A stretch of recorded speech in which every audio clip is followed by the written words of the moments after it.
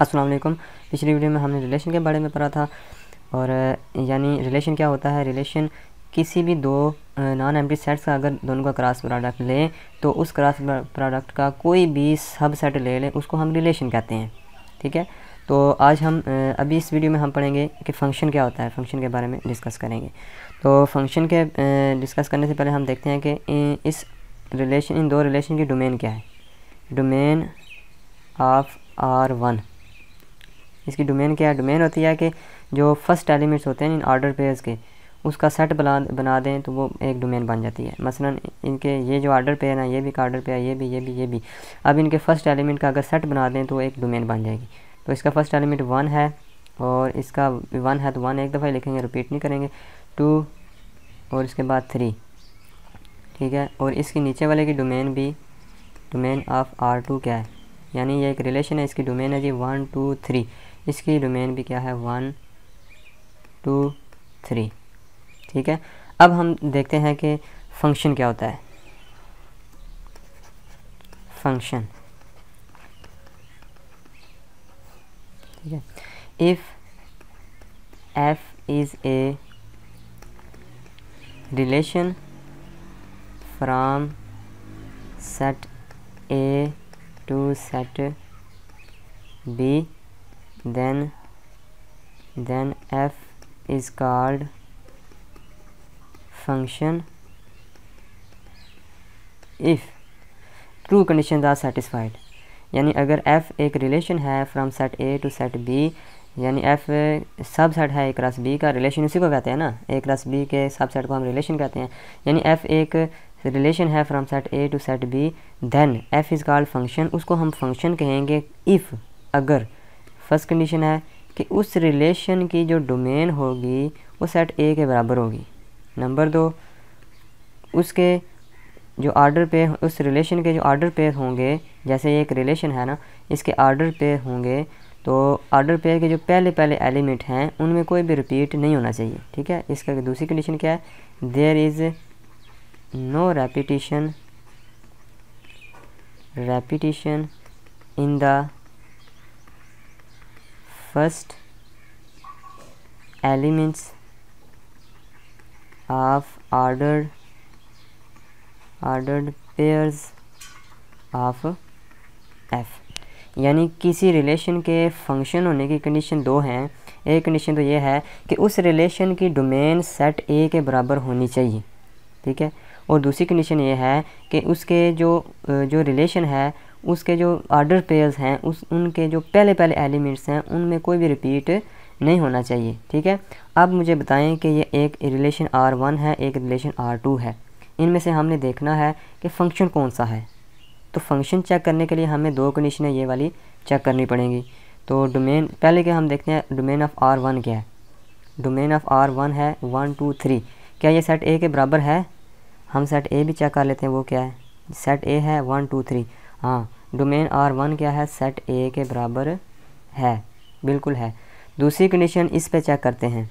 दूसरी कंडीशन ये है कि जो रिलेशन होगा, उसके जो पहले आर्डर पेयर्स के जो पहले पहले एलिमेंट में, उनमें कोई भी रिपीट नहीं होना चाहिए। तो अब इसमें पहले आर वन में देखें। वन एक दफ़ा आया, दूसरी दफ़ा फिर वन आ गया। इसका मतलब है वन जो है रिपीट हो गया है। ये एक ऑर्डर पेयर है, ये एक ऑर्डर पेयर है।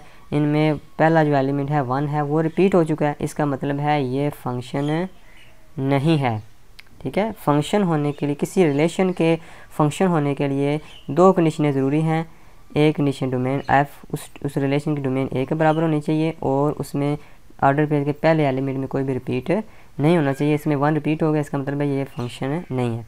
दूसरा रिलेशन हम देखते हैं कि अब इसमें देखें, इसकी डोमेन क्या है? डोमेन ऑफ़ आर टू है। One two three one two three है। ये सेट ए के बराबर है। इसका मतलब है पहली कंडीशन सेटिस्फाई हो चुकी है। पहली कंडीशन सेटिस्फाइड है। तो दूसरी कंडीशन क्या है कि पहले एलिमेंट में कोई भी रिपीट नहीं होना चाहिए। अब देखें, इसमें कोई भी रिपीट नहीं हो रहा।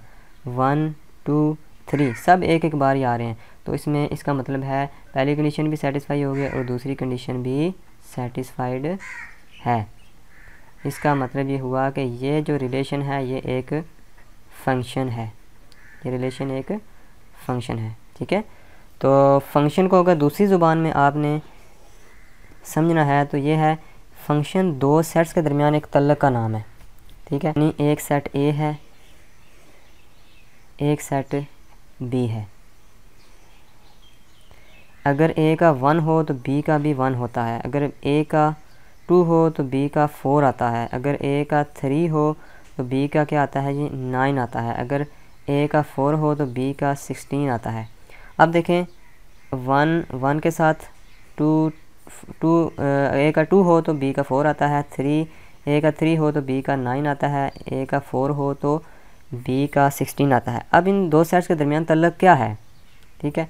इन दो सेट्स के दरमियान तल्लक है एक्स स्केयर का।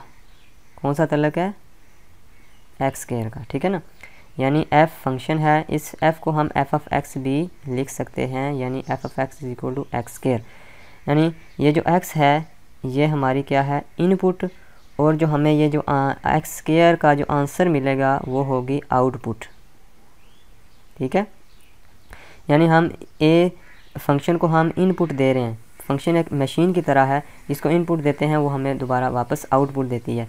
तो देखें, अगर आप वन इसमें रखते हैं एक्स की जगह तो हमें आउटपुट क्या मिलती है? वन अगर इस एक्स की जगह टू रखते हैं तो हमें आउटपुट मिलती है फोर अगर एक्स की जगह थ्री रखते हैं तो हमें आउट थ्री का स्केयर होकर क्या हो जाएगा नाइन तो हमें आउटपुट मिलती है नाइन फोर रखते हैं तो हमें सिक्सटीन मिलता है। इसका मतलब है दो सेट्स के दरमियान ये एक तल्लक है कि जिसमें जो है एक जो एलिमेंट है उसका स्केयर हो रहा है, ठीक है? ए के जो एलिमेंट है उनका स्केयर हो रहा है।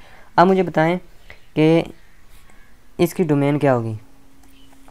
इस फ़ंक्शन की डोमेन होगी जी जो ये वाले एलिमेंट हैं, जिन, जो मैप हो रहे हैं, ठीक है? वन टू थ्री और फोर ये इसकी डोमेन होगी। अब जो हमें आउटपुट मिलती है फ़ंक्शन के ज़रिए तो उसको हम कहते हैं, उसका सेट बना दें, उसको हम कहते हैं रेंज उसको हम कहते हैं रेंज यानी वन से आउटपुट वन मिल रही है, और टू से फोर मिल रही है थ्री से नाइन मिल रही है, और फोर से सिक्सटीन मिल रही है. तो इसका मतलब है ये जो सेट बन गया, इसको कहते हैं रेंज और ये है डोमेन ऑफ़ द फ़ंक्शन ठीक है? तो इस तरह दो सेट के दरमियान तल्लक को इस तरह भी आप समझ सकते हैं, और दो सेट्स के दरमियान तल्लक को इस तरह भी समझ सकते हैं। तो नेक्स्ट वीडियो में हम डिस्कस करेंगे कि किसी फ़ंक्शन की के फ़ंक्शन की टाइप्स कितनी होती हैं, और उनको हम बारी बारी डिस्कस करेंगे, ठीक है? अल्लाह हाफिज़।